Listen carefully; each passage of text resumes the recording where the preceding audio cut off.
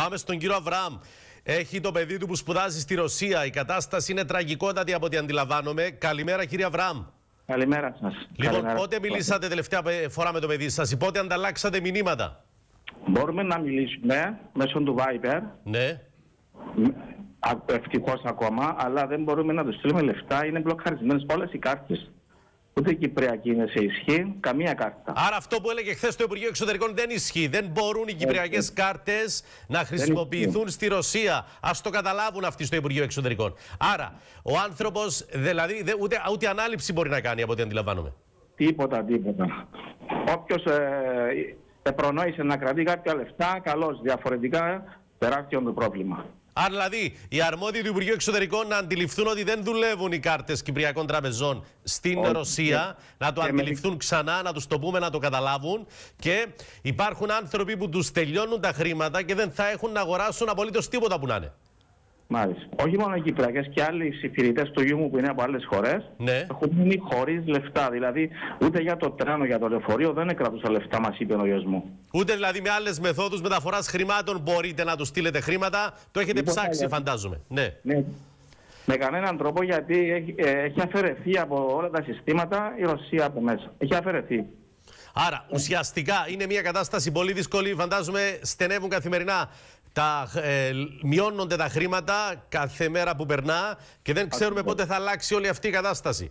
Τώρα δεν ξέρω μέσω της πρεσβείας αν πάνε στην πρεσβεία και αν πάρουν χρήματα από την πρεσβεία και να δώσετε εσείς τα χρήματα εδώ στο Υπουργείο Εξωτερικών ψάξατε ε. να δείτε μια τέτοια διευθέτηση; Επειδή ακόμα δεν φτάσαμε στο απροχωρητό, ναι. όμως νομίζω ότι από το Υπουργείο είναι, είναι ευθύνη τους καθήκον τους προς τους ε, φοιτητές να δώσουν κάποιες πληροφορίες που μπορεί να αποταθεί ο φοιτητής ε, να πιάσει κάποια λεφτά βοήθεια προσωρινά, να μας δώσουν κάποια τηλέφωνα μέχρι να, να δούμε τι θα γίνει. Και να, συγγνώμη, να, εμείς να δώσουμε τα λεφτά στην ΚΥΠ εδώ στο, στο Υπουργείο.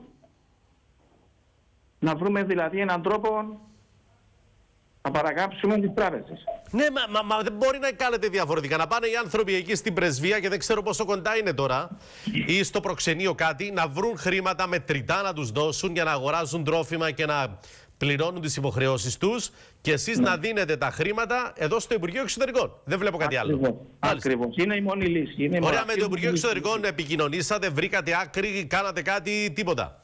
Όχι, δεν επικοινωνήσαμε. Ακόμα δεν επικοινωνήσαμε. Δεν ξέρω άλλοι γονείς ε, δεν ξέρω άλλοι γονείς αν έχουν επικοινωνήσει, αλλά νομίζω ότι πρέπει να τύχουμε ε, περισσότερης πληροφόρησης από, το, από το Υπουργείο. Μάλιστα. Λοιπόν, επιχειρούμε να πάμε και σήμερα στον ε, κύριο Δημητρίου για να δούμε ουσιαστικά τι γίνεται. Μου θυμίζει τις ε, εποχές πριν από 20-30 χρόνια που περίμεναν το ταχυδρομείο οι φοιτητές για να πάρουν τα χρήματα που στέλνουν οι γονείς από την Κύπρο, κύριε Αβραάμ. Φτάσαμε σε εκείνα τα επίπεδα.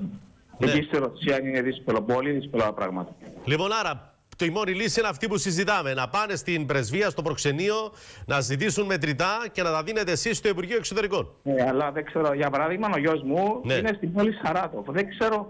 Πόσο μακριά είναι.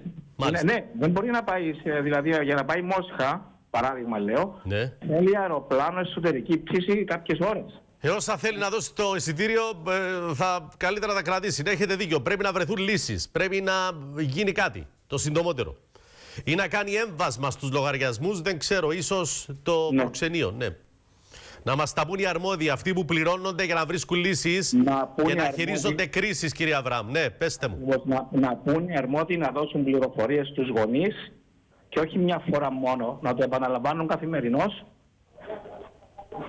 ε, ε, για να βρεθεί κάποια λύση για οποιαδήποτε πόλη. Δεν μιλούμε μόνο για πρωτεύουσα που για είναι. Για όλους, δηλαδή. Για όλους. Για όλους τι πόλει, για όλους τους πυρηνέ που είναι στη Ρωσία.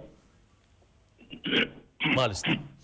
Τώρα το Υπουργείο Εξωτερικών παραπέμπει στο Υπουργείο Οικονομικών. Αυτό δεν είναι διευθέτηση. Θα το επιχειρήσουμε ξανά να βρούμε άκρη.